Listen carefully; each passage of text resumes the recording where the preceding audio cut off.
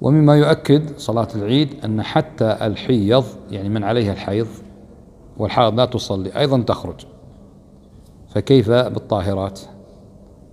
فلكن يعتزلن المصلى ما يصلين طبعا حتى يشهدن الخير ودعوة المسلمين ورجاء البركة. المهم أن النبي عليه الصلاة والسلام كان يخرج إلى المصلى والمصلى مكان فضاء وهذا حتى يجمع أكبر عدد من المسلمين من المصلين وحتى يخرج إلى المصلى من الحيض.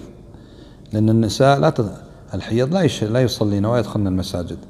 فإذا كان في مكان في الفضاء حتى يجمع حتى من لا صلاة عليها. نعم.